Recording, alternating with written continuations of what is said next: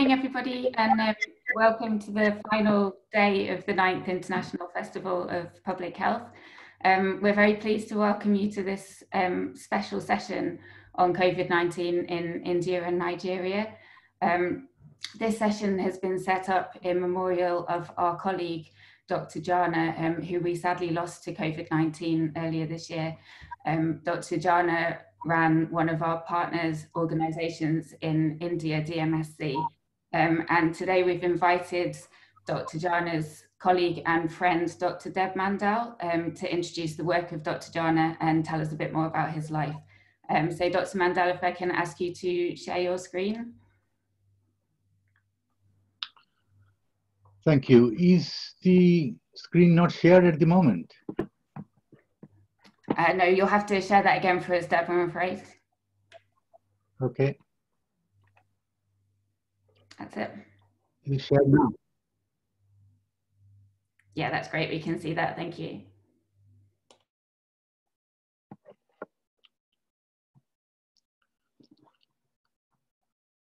Shall I start? Yeah, go ahead.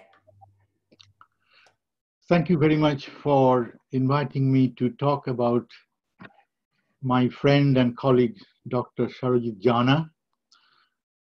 And good morning to you all, and good, good afternoon to those people who are in a different time zone. Why I was asked to talk about Dr. Jana is because I knew him very well, and he was one of my most close overseas collaborator for various research and education program.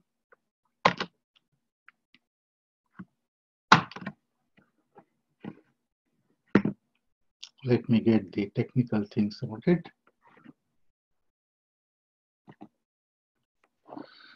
And I acknowledge and thank DMSC for providing the most of the presentation materials.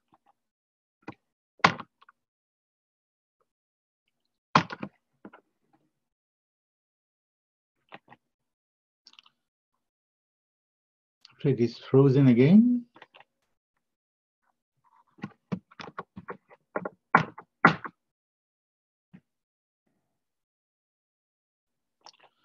Slides are not moving, sorry.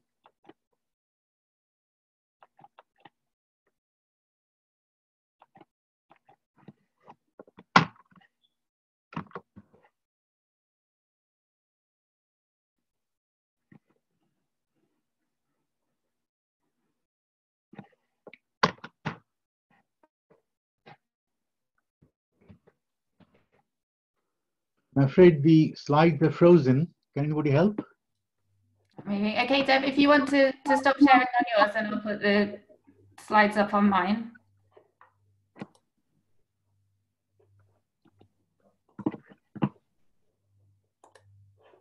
Just so we try once more. Yeah, you, if you give it another go, and I'll get them up on mine as well, just in case.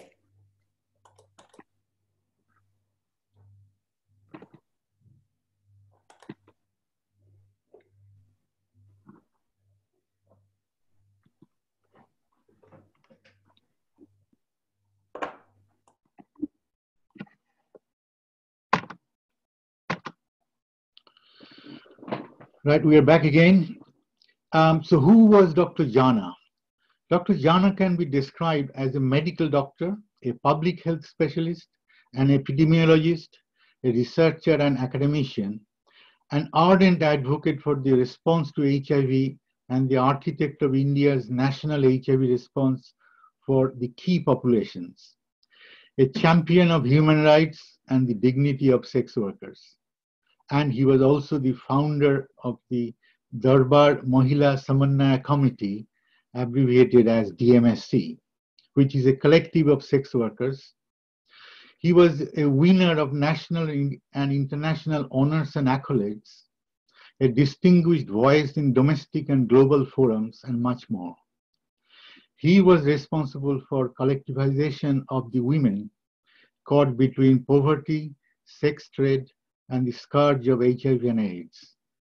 The demand of sex work is work first came from the tireless efforts of Dr. Jana.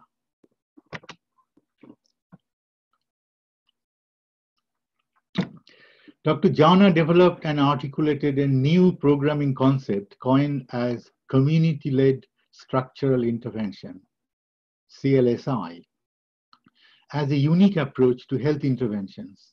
This is based on three main elements. Mobilizing community through strategizing active engagement and collective action of and by the community in establishing their rights and social entitlement as citizens ensuring control over the process and product of the intervention, and building an enabling uh, environment to keep control on and to sustain change and quality of improvement. His brainchild, the Durbar Mohila Samanwaya Committee, DMSC, which is a forum of thousands of sex workers and their children in West Bengal, who fought for the workers' rights of the sex workers of West Bengal and India, besides their sexual health and social dignity. He was an advocate of decriminalizing and legalizing sex work and had most part of his career functioned from Kolkata. He acted like a father figure of women who live in brothels of West Bengal and other parts of India. His main objectives were to help all marginalized communities with special focus to sex workers so that they can access basic rights and social justice. I think the key word here is all marginalized communities, not just sex workers. To help sex workers collectivize and speak for themselves and acquire workers' rights like any other workers in the country. So I'm going to talk more about Durbar, which is which was his brainchild. And Durbar raises hope and aspiration among the marginalized community. So Durbar represents, as I mentioned, the sex workers. So who are the women who are in sex work? Most of these women belong to low socioeconomic and caste background. There is still a caste system in India, although it is getting better having very limited skill. They have very few choices in the labor market. However, they have shown strong determination to find a new livelihood option to improve the quality of life of, of themselves and their family. The, the, uh, most of them are migrants coming from rural part of India to the cities and also from other countries. So what are the possible choices open to these migrant women? In cities, they can be engaged either as domestic worker, cook, or cleaners. Some of them may find scope in construction work or may join in sex work. As you can see here, this is a human dishwasher. This is the cleaning job many of them do.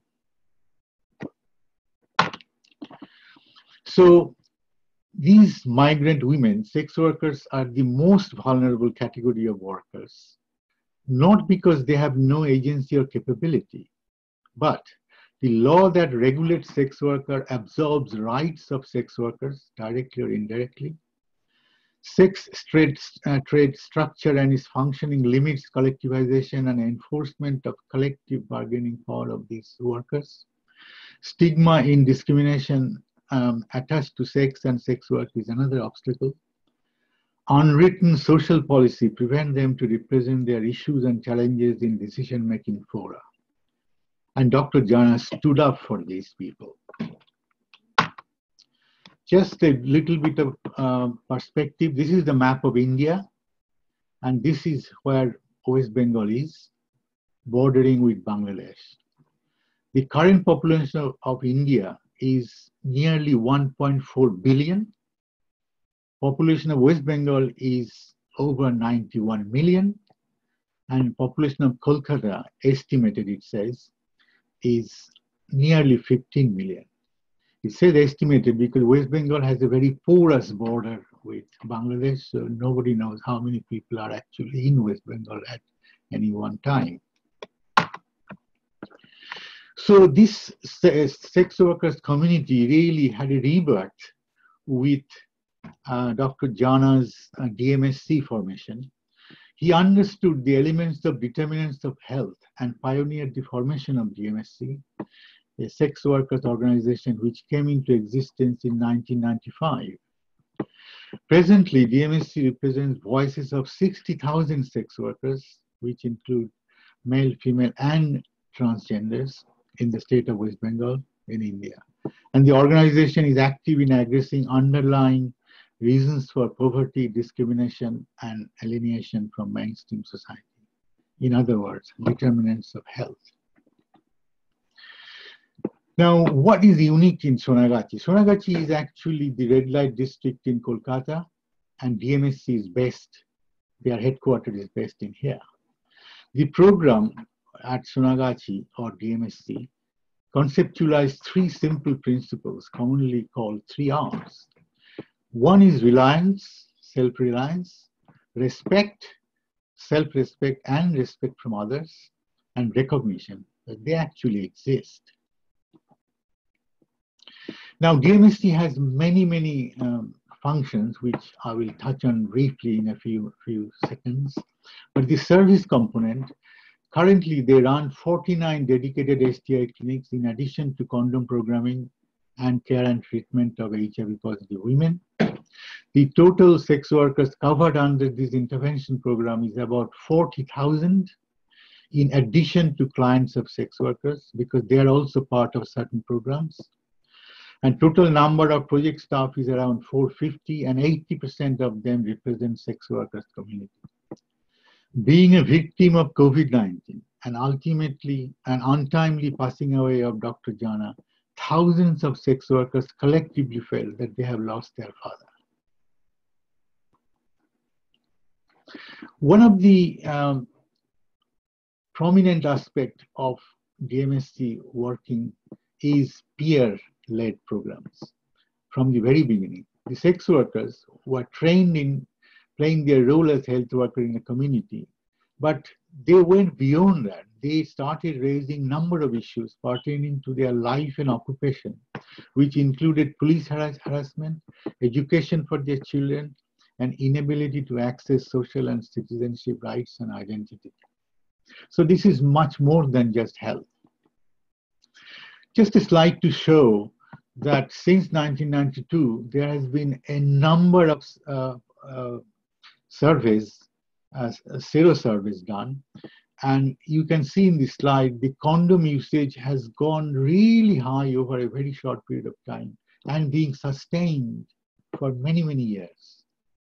And the HIV and syphilis, VDRL is a marker for syphilis, is really remained and in a sustained way quite low in comparison to many other cities. And this, not only it was just India, the lessons learned from, learned from Sonagachi get articulated as two major strategies in the national program in India, namely creating enabling environment and community organizing and ownership building, which, which also are embraced by many donor agencies, including Bill and Melinda Gates, Ford Foundation, us, DFID here in the UK, and other UN agencies, UNDP and UNAIDS. So this has been replicated in many, many parts of the world. From very early on, DMSC felt, led by Dr. Jana, the importance of education. So non-formal education started in 1993. You can see that everybody has taken their footwear off before sitting in this place. And this is a very common practice in India and possibly many other countries. Now, in terms of economic vulnerability, they have formed their own cooperative society, which acts like a bank. It has got 30,000 members, and annual turnover is over 5 million US dollar. They, they have got a cultural wing, and whose name is Komal Gandhar, and they do many, many performances throughout the year in terms of drama, dance, street theater, etc., songs and music. They are extremely active and they perform really high quality. Amra Padatik uh, the English version is We the Foot Soldier. This is more or less the political wing of DMSC. They operate in 12 red light districts across West Bengal. They help accessing health, education, and career building opportunities. They, they fight social evils like drug addiction, child marriage, child labor, and gender-based violence, etc. They establish linkages with government and other institutions to enroll children of sex workers for various social entitlements. They help accessing birth certificates as identity proof and help raise co collective voices against stigma and discriminatory practices. Now, they have achieved many things. Some of the examples are here. 50 children after completing vocational training program is capable of maintaining their own livelihood, self-sufficient. Successfully prevented 12, 12 child marriages only in this year, and four of them has completed graduation. They have got a sport wing, which has many achievements within India and outside India, in Poland, in Denmark, and also in Indian national team under 40. They're very active on many, many fronts. Now, they have got a regulatory mechanism for, they've got a board which has created a political space through constituting this board to curb trafficking, trafficking of women in sex trade, which is a very serious and emerging issue. And they had 33 events through which they have rescued and reintegrated more than uh, 11 and uh, nearly 1100 minors and unwilling women who didn't want to go to the trade. And it shows that the average 1000 new entrants of sex work only below 2% and trafficked women is very little through their self-regulatory board activity. And the things have been improving all the time.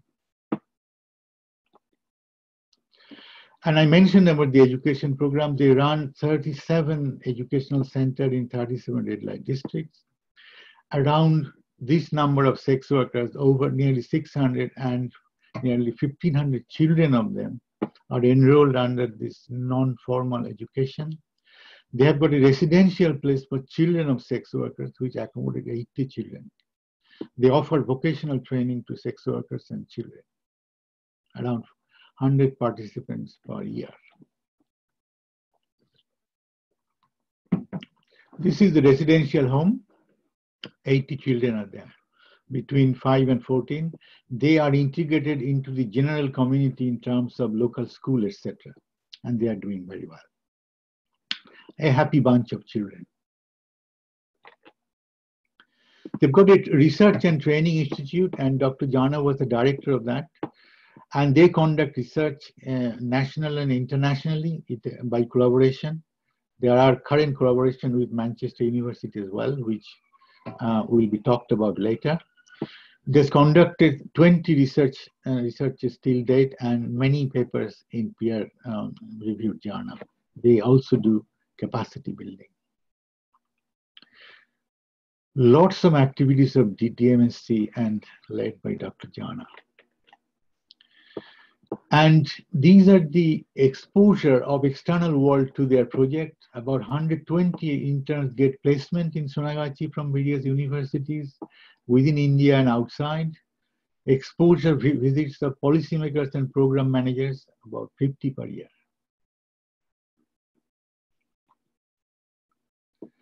So Durbar, which is uh, DMSC, is championing the cause of other marginalized communities. This is beyond just Durbar. Um, and their um, activity include children of natives in, in rural area in West Bengal. There are certain entertainment workers in certain part of West Bengal. They are helping them to get due recognition. Fishermen in West Bengal, southern part, they are helping them. Basically, they are exporting DMSC's knowledge and transferable skills to other marginalized and suppressed community in India and West Bengal. So I will stop here and I hope I've given a flavor of what DMSC is now, which was founded by Dr. Jana and actively led throughout. And on behalf of the sex, sex workers and DMSC, I would like to say thank you for listening to this. Thank you.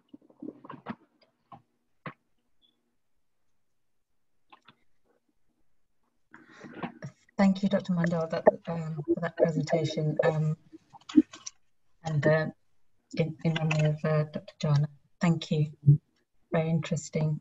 So now I'd like to invite our next speaker, Hannah Waterson, to present, please.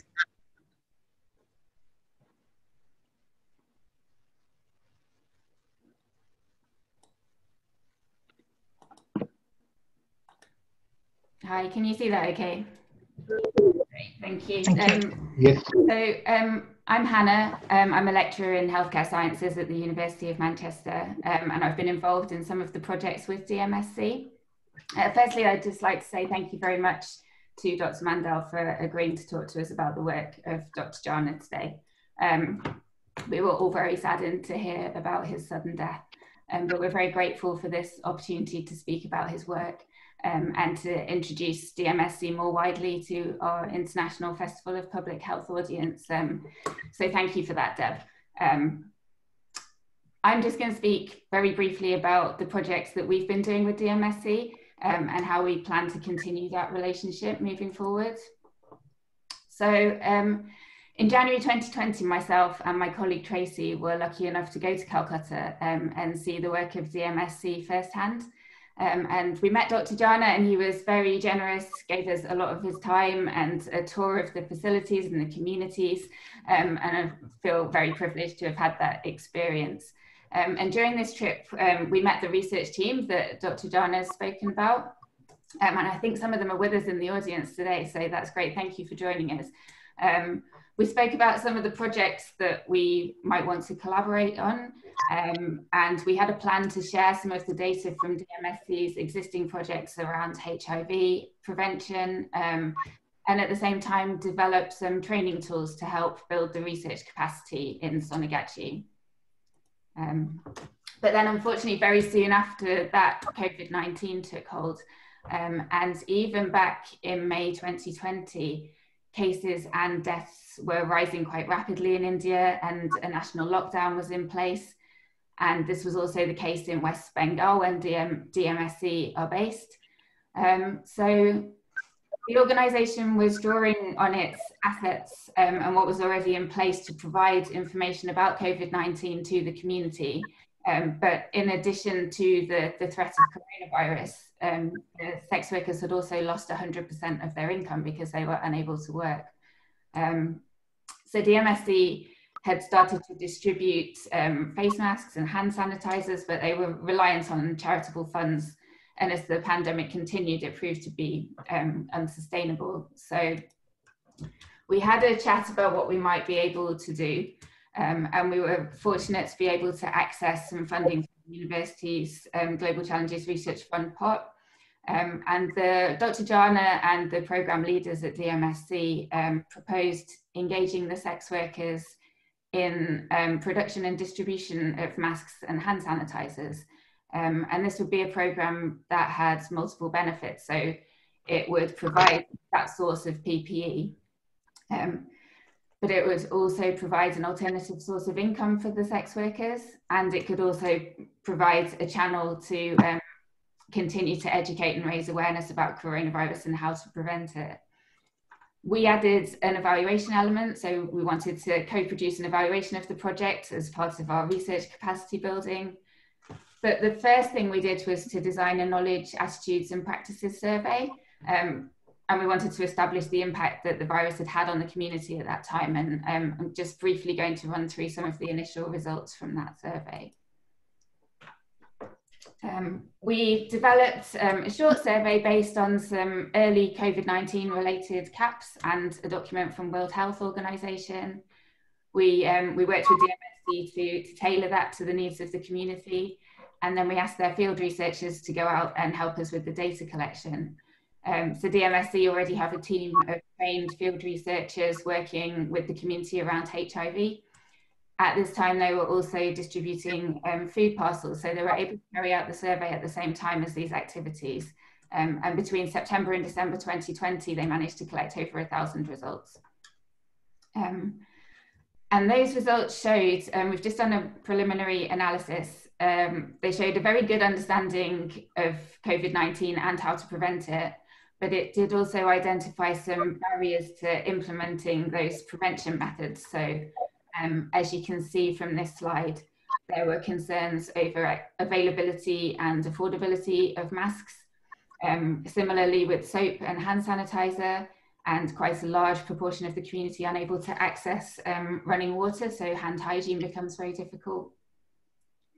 Um, a large proportion of the community felt that they wouldn't be able to self-isolate, whether that's because um, there were many people sharing small rooms or small houses, or because they were not able to, to deal with a lack of income from not going out to work. We did ask whether um, people had managed to maintain their income during the pandemic, and overwhelmingly they hadn't. And you can see from this slide that people were struggling to provide for their basic needs, such as rent, food, and medicine. Um, and when we asked what people were most concerned about, um, obviously they were concerned about the health implications, but you can see forth from the bottom there um, also very concerned about loss of income or loss of job. So um, the initial fear that the economic impact of the lockdown could be devastating for the community was borne out by the survey. Um, and justified putting in place this programme. Um, so I'll just talk briefly about what happened with the programme. This was mainly carried out by DMSC on the ground in Kolkata. Um, but they quite quickly managed to remodel their space that um, Deb showed us before into a production area. They sourced um, sewing machines and the raw materials to make face masks um, in the first instance. They, they procured these from local suppliers. They researched regulations and they were given permission to manufacture to a standard that they would be able to market to local clinics by the end of 2020, they were engaging in training quality control processes and were getting ready to go to market um, with these face masks. Um, with the initial market of the local community clinics, but then with the potential to expand further. Um, unfortunately, then, um, as you will have seen, a second wave of COVID-19 um, hit India and a lockdown was put back in place and movements were restricted, so research activities had to be paused um, the PPE project was put on hold um, and the team in Kolkata were focused on meeting the more immediate, immediate needs of distributing food aid. Um, COVID mitigation efforts did continue and um, I was told yesterday that the community secured vaccination priority status. So there's a vaccination program underway and uh, many community members have now been vaccinated. So it is beginning to look like we might be able to think about some post-COVID recovery initiatives. And um, even though the project has been paused, I think there are some things that we can already take away from this collaboration. Um, cases of COVID in the community have been very low, both in the first and second waves. Um, and we think this is due to the existing community empowerment approach, that long-standing approach that makes DMSC a trusted source of information and gives it the ability to advocate for the needs of its members. Um, and this is something else that we gathered some information on in the KAP and that we'd like to look at more closely. Um, links were formed with local industry and there's an opportunity for further collaborations there. Um, the organisation showed its ability um, to be flexible and to, to adapt to the um, most pressing of needs and there's um, definitely things that we can build on there. And as Deb mentioned, DMSC have been engaging in employment and training and education activities for many years. Um, and this may be another avenue that can be used for those activities as well. Um, and DMSC remain committed to continuing the research um, they've been doing as they learn to cope with the impact of COVID-19 um, and also as they adjust to the loss of Dr. Jana. Um, and uh, the university, we're also com committed to supporting this as much as we can. So some of the things that we have already spoken about um, includes continuing with these research capacity building activities. We, we hope that the project will restart, but if not, we have some existing data and we can work with the research team in Kolkata to analyse that together. Um, we might be able to look into the impact of um, further waves of COVID-19. Quite a lot has changed since that initial survey um, around this time last year, so we might be able to update some of that information. Um, it'd also be really interested to look into the role of community-based organisations in this empowerment approach as a public health response to COVID-19 and to use DMSC as an example of where that's been done very well with the marginalised community. Um, and then looking at what, what we can do to support the community recovery post-COVID. And I'm looking forward to that continuing relationship. Um, so yeah, thank you very much.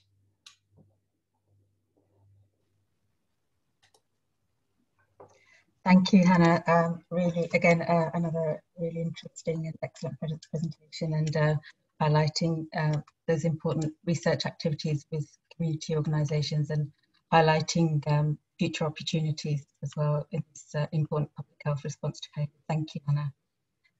So um, I'd like to invite our next speakers, Dr. O Obo and sorry, Dr. And Obo, uh, to present. Thank you. Yeah, good morning, everybody. I'd like to say a big thank you to, to Professor Apana for the opportunity to uh, work with Precious Gems. Um, it's been an exciting relationship for the past um, one year plus now. And we in Precious Gems, we, we, are, we are very grateful for this um, partnership. Um, we want to present what, you know, the, the story of what went on in Nigeria. And I would like to pass it on to my colleague, Dr. Nosa, who will be able to do the talking. So thanks so much. Um, you're on mute, Dr. Nosa, please. Okay. Good morning, everyone. Nice meeting you. Good morning from Nigeria. I'm Dr. Nosa Akpede. I'm the head of Department of the Public Health public health uh, in um, Irrua Specialist Teaching Hospital. So the title of my presentation is COVID-19 Response, the Nigerian Experience. My co-presenters are Dr. Obo Kyoyame, Joy Oyebujo, and Obetere. The first case of COVID-19 in sub-Saharan Africa was reported in Nigeria on the 27th of February last year. As at 21st July this year, there are 169,884 confirmed cases, 2,128 deaths, and 206 new cases recorded in 36 states of the Federation and the Federal Capital Territory, Abuja. Nigeria is the eighth highest ranked African country concerning registered cases registered confirmed cases of COVID-19. Lagos State was initially the epicenter of the outbreak. Then Kano and the Federal Capital Territory, Abuja, joined Lagos as high burden states, contributing 64.5% of the cumulative total cases in Nigeria by the end of, of May last year. The Nigerian government, at the discovery of the index case, restricted international travel on 15 high incidence countries, namely China, Italy, Iran, Norway, South Korea, Spain, France, Germany, United Kingdom, Netherlands, Switzerland, Sweden, and Austria. As at February 14th, about 55 different lineages of SARS-CoV-2 have been discovered circulating in Nigeria, and they are rapidly changing as we speak. We also discovered two variants in November last year, the B117 variant and the B.1.525 variant. Results of seroprevalence studies conducted in four states in Nigeria, Lagos, Enugu, Gombe, and Nasarawa. Lagos and Enugu are in the south-south of the country, while Gombe and Nasarawa are in the northern part of Nigeria. Between September and October last year, revealed that the prevalence of SARS-CoV-2 antibodies was 23% in both Lagos and Enugu states, 19% in Nasarawa state, and 9% in Gombe state. This study was conducted by the Nigeria Center for Disease Control last year. Higher rates of infection were seen, were seen in males in the country compared to females, and in urban areas compared to rural uh, settings, and in persons aged 18 to 64 years. This is um, a picture depicting the number of confirmed cases, discharged cases, deaths, and samples. This is a weekly presentation report as at 30th May of this year on COVID-19. Also age gender breakdown of cases in Nigeria, cases and deaths in Nigeria from week 10 last year till May this year. Nigeria's multi-sectorial response was coordinated by the Presidential Task Force set up by the federal government on COVID-19 with the Nigeria Center for Disease Control Agency, partnering with the federal government. Isolation and treatment centers were established for the management of COVID-19 cases across the country. There were training of health workers on case management, infection prevention and control practices, surveillance, risk communication, and other areas of epidemic preparedness and response nationwide. The NCDC supplied medical equipment, as uh, personal protective equipment, to the 36 states of the country, developed preparedness guidelines, and instituted non-pharmaceutical measures, such as hand washing, use of face masks, and physical distancing. And of course, at the same time, all these measures were applicable globally. This is a picture showing the, the preventive measures that were instituted in the country. And I'm sure this is what also happened all over the world. The pandemic provided the opportunity to rapidly scale up Nigeria's public health infrastructure. Our public health infrastructure is rather poor. So the government uses it as an opportunity to improve the public health infrastructure nationwide. Notable is the establishment of more than 70 public health laboratories across the country from last year to date. Presently, we have at least one public health laboratory in the 36 states of the country. As part of measures to contain the spread of the disease, beginning in March 2020, there was an initial closure of the nation's borders. Lockdowns were imposed and interstate travels banned nationwide. Schools, uh, tertiary, secondary, primary schools were closed down completely. Offices and services considered non-essentials were also closed. Because of the complaints of the citizens, our citizens, because of the disruptions caused by this lockdown, they agreed. And there were several complaints from several quarters. Actually, people even came out to protest. There were protests everywhere. So it had to be followed by a gradual ease of lockdown in phases to ensure a balance between preserving lives and livelihoods, while at the same time addressing the socio-economic disruptions caused by the COVID-19 outbreak. In March 2021, this year, Nigeria received nearly 4 million doses of COVID-19 vaccines shipped via the COVAX facility. This is a partnership between the CEPI, Gavi, UNICEF, and uh, World Health Organization. And as at, the, as at 12th of July this year, 3.94 million doses, not much anyway, 3.94 million doses of the vaccine had been administered some were also administered in my hospital, yes. And then with um, 1.4 million persons fully vaccinated, having received two doses. So that amounts to 1% of the population vaccinated.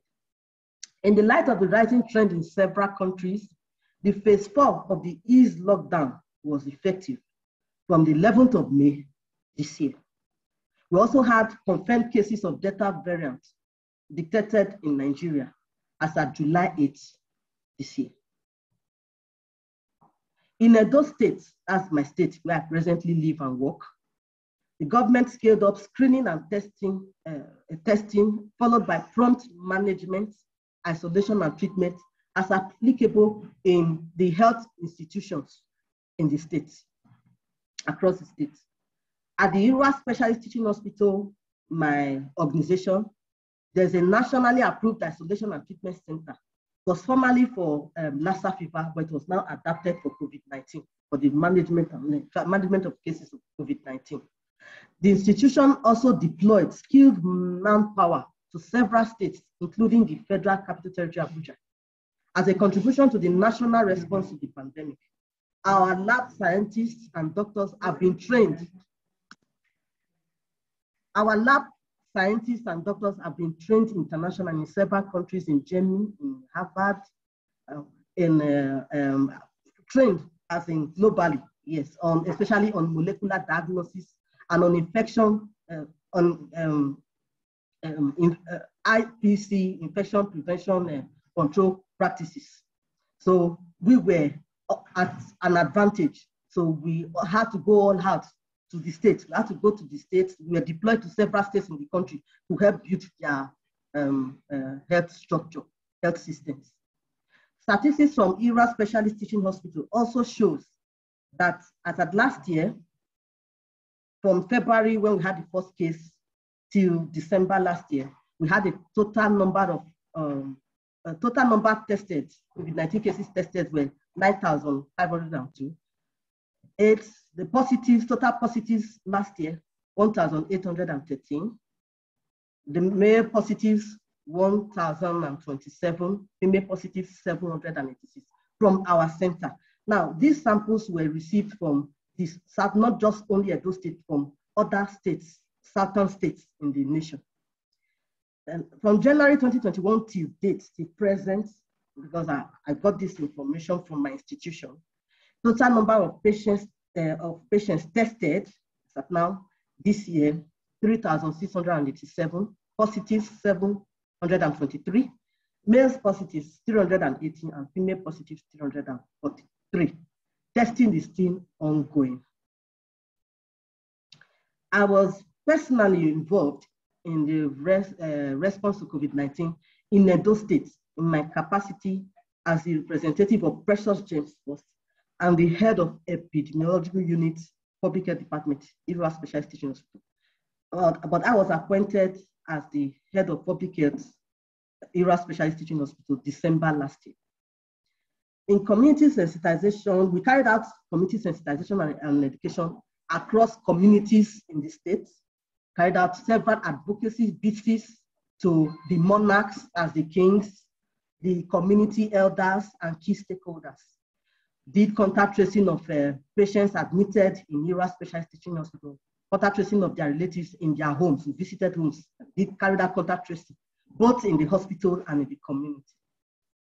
I was also the lead physician in the Edo State team for the assessment and selection of health facilities. We assessed and selected health facilities in the different local governments in uh, Edo State for adaptability, for screening, as screening, as used for screening centers and uh, um, the, the first referral centers uh, where the patients get to before they are now moved to the management uh, treatment centers. So we did, we actually assessed health facilities available and we selected from these health facilities the um, um, health facilities that can be used for screening and um, initial management of patients before they are transferred to the tertiary hospital in Esan West and Esan Central local government areas of the state. I found this experience interesting, enlightening, and rewarding. Now, Precious Gems in December last year did a collaborative, a collaborative study with the University of Manchester around knowledge, attitudes, and practices towards COVID-19 in rural communities in Edo State, Nigeria. In assessing these communities, we have to do community entry. We, end, we, and, uh, we did stakeholders engagement. We engaged the traditional rulers, traditional chiefs, and the elders of the community. This is the traditional communication channels. So we engage the kings, the monarchs, we call them onojies, the traditional chiefs, the Ojonweles, or the elders of the community and the community of elders before we could penetrate into the community. And then these traditional elders or stakeholders pass the information in their, in their respective dialect to the town criers. The town criers goes from homes to house to house in each of these communities and relay the information to the, uh, the citizens.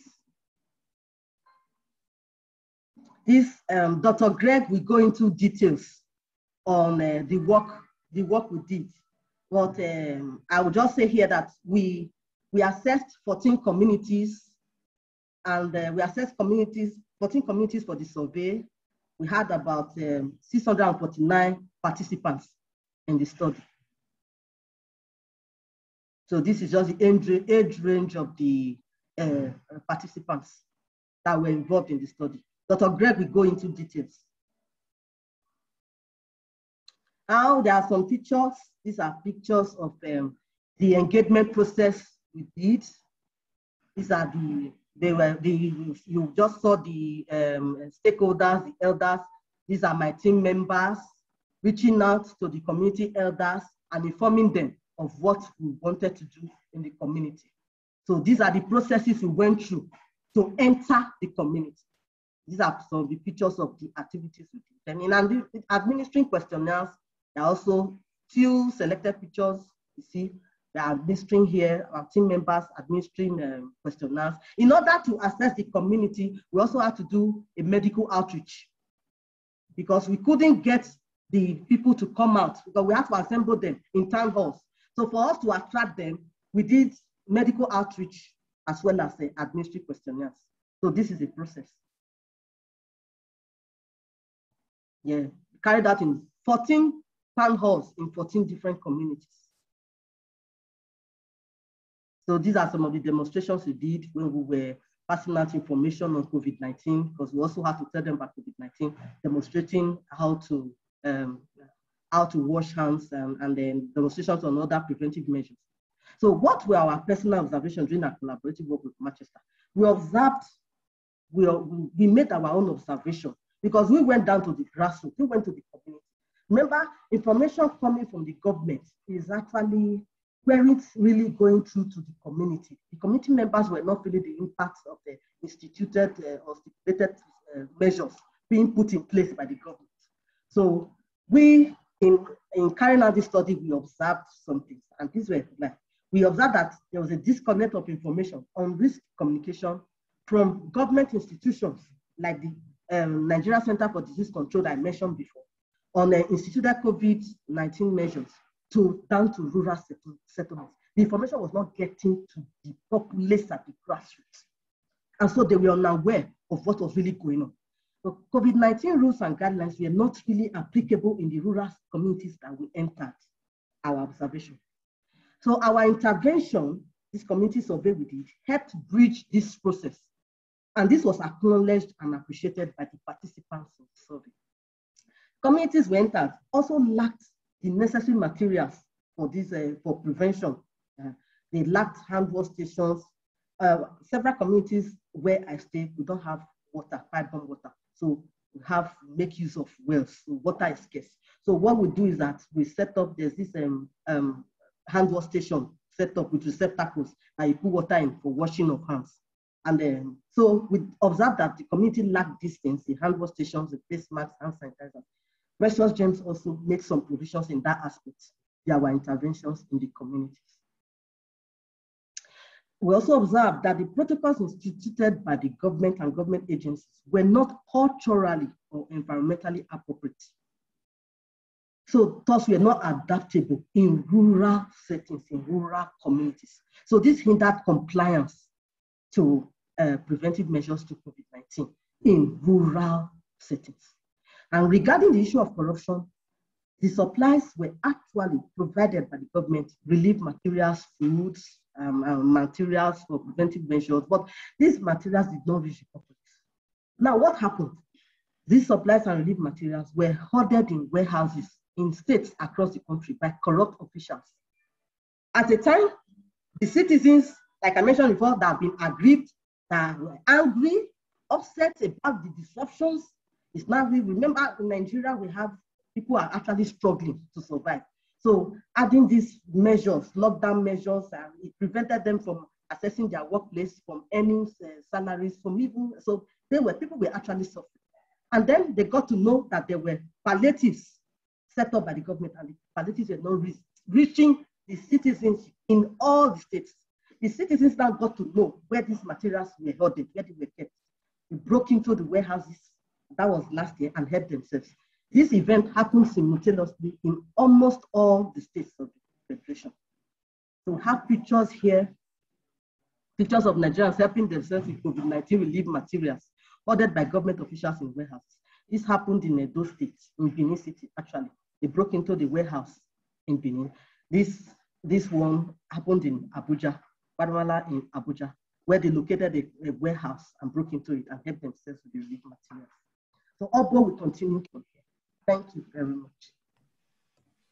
Yeah, thanks so much. Uh, Dr. Nosa. So from another thing that I wanted to add to, to it in terms of what we also did. So apart from providing the Veronica buckets, because they call the Veronica buckets, we also uh, supported because we knew that because of the lockdown and all that, so many people were not really getting some jobs. So we were able to engage women who could sew. So, and they, you know, using the standard for face masks, so they were engaged economically to be able to make the make face masks. So this face mask was that we did. So every community we went to, we also provided them with face masks. We, we also provided them too because another thing that Dr. Nosa mentioned was one of the carrots that we use in mobilizing the community was we went through the strategy of organizing um, um, outreaches with health free health outreaches. So with that one, we, we were able to, you know, attend to them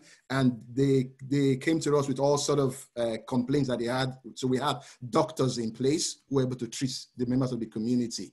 So two things came out from there so apart from raising the awareness of covid and and giving them education we also found out some other things that were prevalent within the community in terms of disease wise so there were multiple things that was going on uh, at the same time.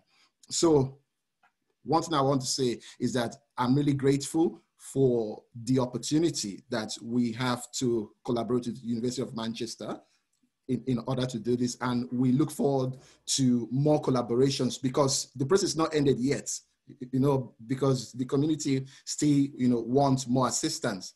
Though we have done the initial knowledge, attitude, and practice, but there are so many questions that have been raised already, you know, through this process. And I believe that with the continuous relationship we have, we should be able to do more impact.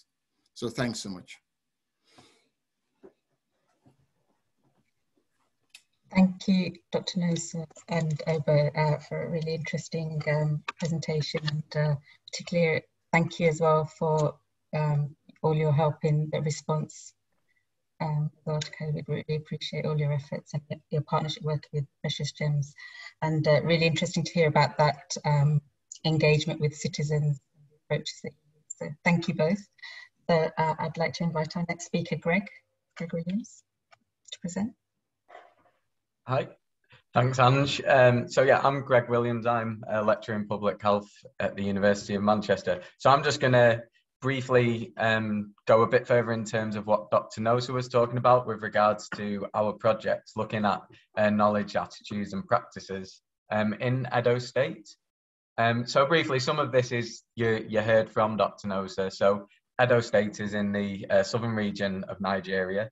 It has a population of approximately 5 million people, GDP per capita just over $3,500. Uh, you saw the cases and deaths for Nigeria in Dr. Nosa's presentation. These are all taken from yesterday um, for Nigeria and Edo State. So just to also put a bit of context, um, Dr. Nosa mentioned, in fact, she showed that picture that's from the BBC News about the um, hoarding and the looters. So some further context. So obviously we see the figures look a lot lower um, for COVID compared to the UK, for example. But obviously, there are other issues going on um, that we need to take into consideration with regards to it. So, for example, we all saw at the start of the pandemic the oil um, prices going down into minuses, in fact. And Nigeria, that oil revenue is the main revenue for the Nigerian government. We also saw that a decline in remittance payments. So, remittance payments are when uh, a person would leave to move to another country um, for work and send the payment back home. Um, but that decline with things like the furlough schemes and job losses of the pandemic meant that that wasn't allowed to be wasn't able to be passed over. So that also is another factor that um, causes problems. And also before the pandemic four in ten people um, in nigeria were below the poverty line and it has the highest rate of extreme poverty globally. And i know yesterday from a presentation i saw um, about nigeria that um, they mentioned that there were over 90% of children in Nigeria live in poverty. So these obviously all are difficult situations within the pandemic. Um, so just a brief introduction to Precious Gems Africa. Obviously, Obo and Dr. Nosa introduced them. So they're a UK and African-based charity uh, with a focus on health and wellbeing support, particularly amongst women and girls. And we also worked with Dr. Nosa's organisation, Irrua Specialist Teaching Hospital, uh, for this project.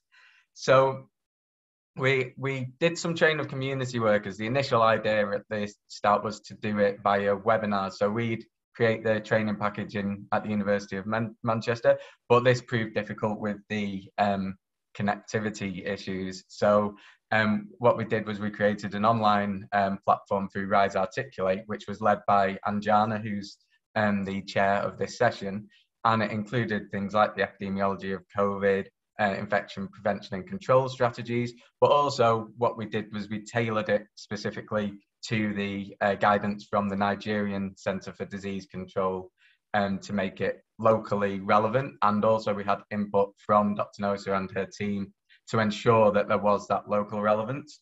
So from there, there were 32 trainees and they ranged from um, administrators to medical doctors from Irrua Specialist Teaching Hospital and also Ambrose Ali University. We also conducted uh, KAP questionnaires with them before the training session and after the training session. I, I use a royal we there. We didn't in Manchester. Uh, that was our colleagues in Nigeria. Um, we did feedback for the training and it got 4.6 out of 5 score for effectively reaching the intended learning objectives. Um, so these are some preliminary findings from the, what Dr. Nosa was describing when they went out into the communities um, and took this cross-sectional survey. Um, we've not fully analysed it and we're hoping to get a few papers out because when we developed the questionnaire um, with uh, Dr. Nosa and her team, they we took them from some WHO questionnaires, um, a KAP survey from Wuhan, and also one from Kenya. And it's actually a very large one. So there's a lot of data there that we need to go through. It was perhaps a bit too large. Um, but they, the team out there worked really hard to um, get the questionnaires um, completed. So as you can see, some of the challenges we've been finding, so an average household size is 4.4, which ranges from one to 25 people inside the house. So obviously that has implications for transmission and self-isolation. And 19.9% felt they had no risk of being infected with COVID-19. There was 78.6% had worn a mask in the last week, but also 73.6 have been to a crowded place. As you can see, quite low 28.4% only only felt that the household was currently doing something to prevent COVID, and even lower 23.2% felt the community was. And also, quite importantly, nearly half of those surveyed wouldn't have a spare room if they did need to self isolate. And um, even lower thought that they um, community members would be able to self isolate. Um, looking at in a bit more depth on some of these. So these are more of the attitudes. So this is looking at who they thought could handle, had high confidence, sorry, that could handle the COVID-19 situation well. Or the higher up ones are obviously the hospitals, Ministry of Health, and um, it's still only 60 odd percent, but it's really low figures for the likes of the police with just over 10% and schools at around 15%. Um, looking at the types of information they, they felt that they needed, it was very much loaded towards the protecting the family, the symptoms, as opposed to um, more of the um, the actual uh, worldwide pandemic and information about the science and the authorities' decisions. And just one final slide from looking at it, we have briefly looked, it may not be too surprising, we looked at where people had completed secondary education versus not completed secondary education. And as you can see, particularly for the knowledge and practices, it's quite um, there's quite a lot more are likely to if they've completed sec- secondary education have the knowledge and actively be practicing. And the attitudes we found though are quite similar. Again, know that we've got quite a lot of future work to do with this and um, analysis, and there's a lot of, um, as I said, a lot of questions for us to look into. And so finally, I just want to say as one point, so this is just, uh, we got this of money from the Global Challenges Research Fund QR funding, and um, that was great. It was a quite a small pot considering the GCRF funding. But what it does it has allowed is just to reiterate that it goes beyond this project. And um, we've now, as Obo has been mentioning, uh, developing a relationship there, and currently um, it's led to Dr. Yonette Thomas, who we've a colleague of ours for many years. She uh, used to be the chief executive of the International Society of Urban Health in New York and is currently uh, the chief executive of Urban Health 360 and now as a result of us linking up with uh, our colleagues in Nigeria, um, is now delivering a leadership training mentorship scheme, uh, which she currently has 18 students for that are uh, medical students um, in Nigeria and in Edo State. Um, and they have been helping us. They've presented at the European Public Health Week we put on with the European uh, Public Health Association. And you might have seen throughout this um, festival, they all have been presenting their photo stories in different sessions. Um, so it's leading to building this and um, basically just saying that these these small pots of money can lead to big changes and hopefully this, these 18 students will go on and it will uh, deliver further. So thank you very much.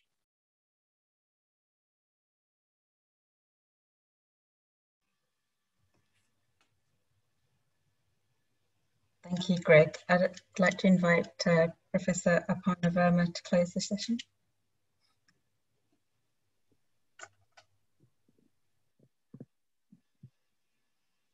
Hi, thank you, Ange. And um, I wanted to close the session because of how moved I've always been uh, since Deb uh, walked into my office um, a few years ago now um, and told us first about Dr. Jana um, all those years ago.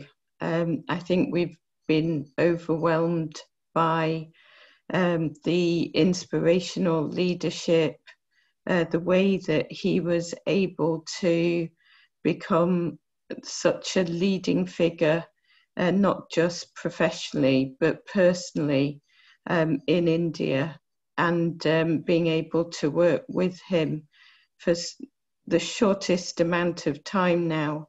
We always think I, uh, that we have infinite amounts of time.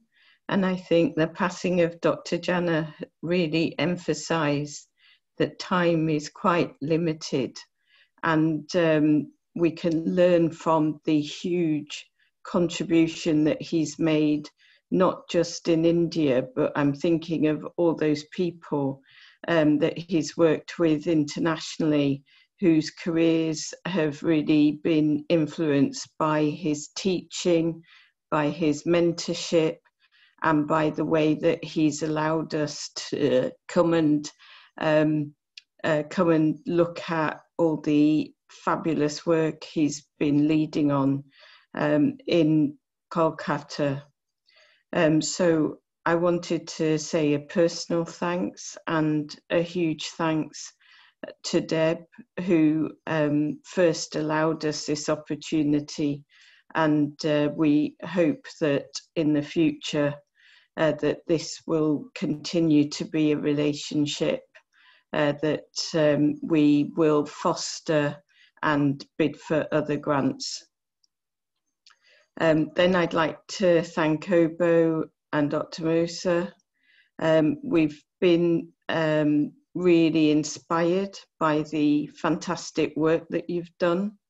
Um, and I think going forward, there's a lot of opportunities that we really need to maximize working with um, Deb and uh, the team um, in India and thinking about how we can um, further formalize our relationship. Um, I think Greg said um, there's lots for us to do with what we've done already, um, but I think um, we've got a lot to do anyway going forwards. Uh, so I'd like to thank the speakers. Um, the the amount of work is phenomenal, and I, I see lots of different uh, social responsibility activities uh, where things are sort of given to populations. I think what's so special about the work that you've done here is the capacity building and the way that um, through some of our links that we really are building some of those strong relationships that are going to be enduring. Um, so I hope um, that we are able to continue this journey together. And I'd just like to hand back to Ange um, and thank uh, everybody for their participation, remind people um, that uh, the Daily Digest will look at um, uh, summarising our sessions and also um, just to have a look at the programme as we have the last day of events still to come. Thank you, Ange. Thank you, Arpana, um, for um, an excellent closing to an excellent session. Um, thank you, Dr. Mandal, for those moving words at the beginning, the uh, really inspiring presentation.